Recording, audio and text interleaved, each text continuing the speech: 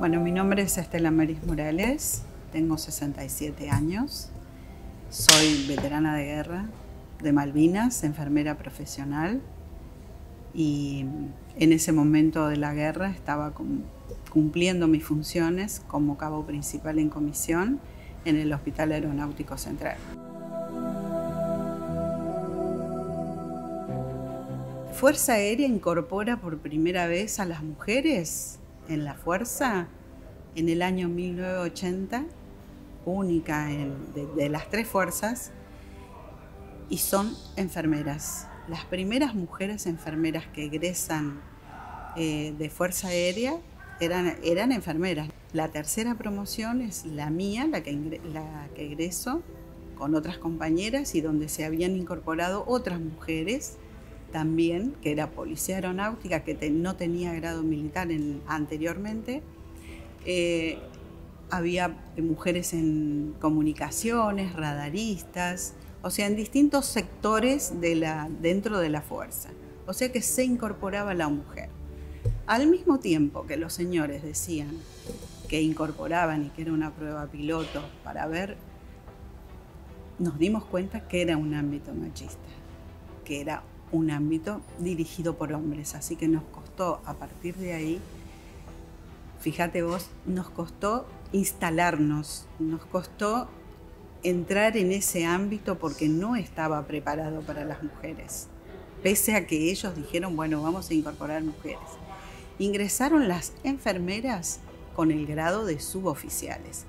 Cuando nosotros nos enteramos que egresaban o incorporaban eh, bioquímicas, eh, radiólogas con grado militar oficiales, las enfermeras que estaban ya desvalorizadas, dijimos, ¿por qué nosotras no? Si también somos profesionales, algunas profesionales, otras universitarias.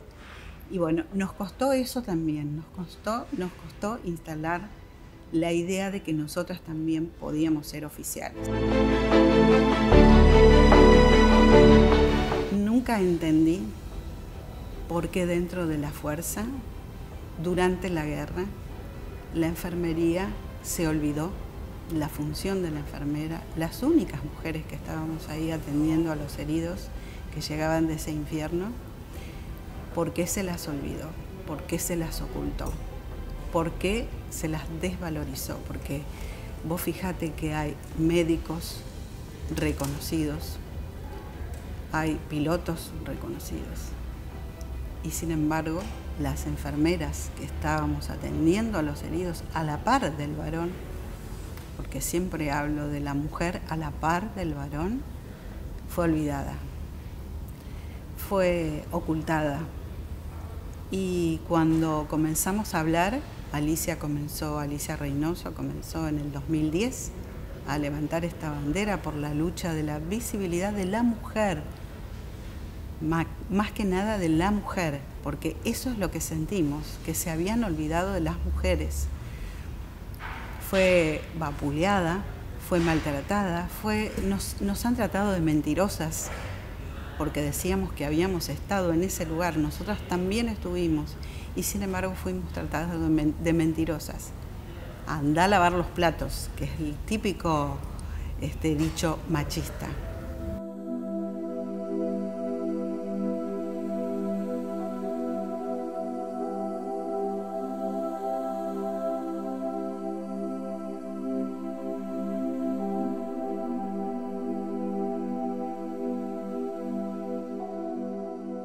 Que en el año 2015-2016 nos hacen un reconocimiento en la legislatura a las tres que somos de Villa María, eh, Mónica Rosa, Estela Bota y yo.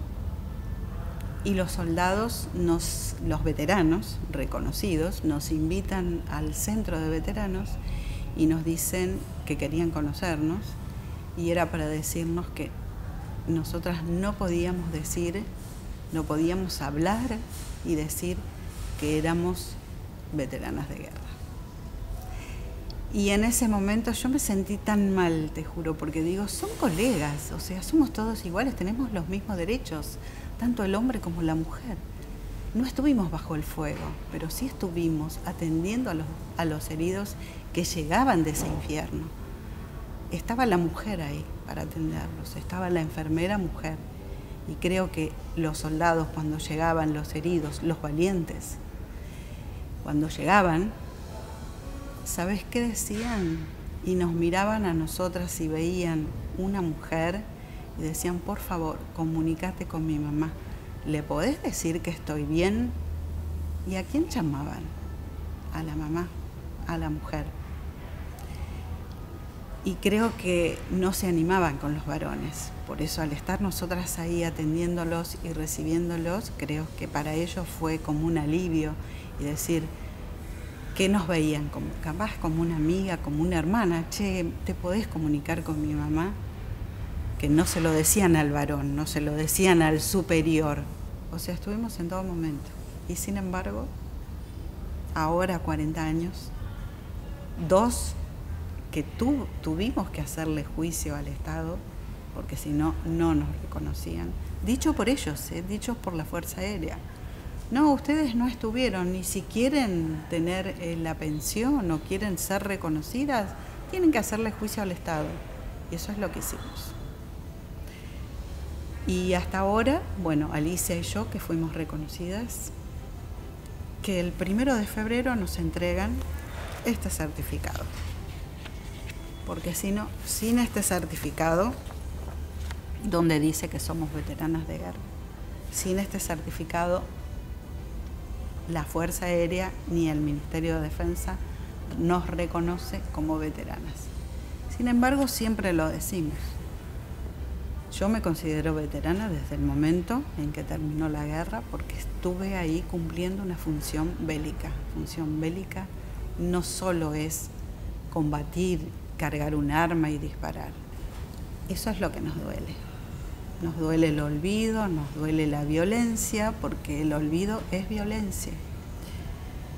Eh, y consideramos que las mujeres tienen que tener los mismos derechos que los varones. Así que seguimos, vamos a seguir hasta que nuestras compañeras sean reconocidas como se lo merecen. thank you